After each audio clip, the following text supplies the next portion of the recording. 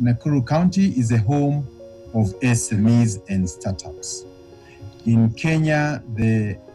the the the, the town or the the county where most of the big uh, companies start and later grow with the best environment for growth,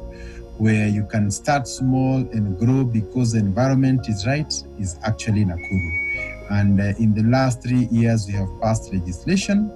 to ensure that businesses that are set up in Nakuru, those that are already existing, and those that have already been here and want to expand,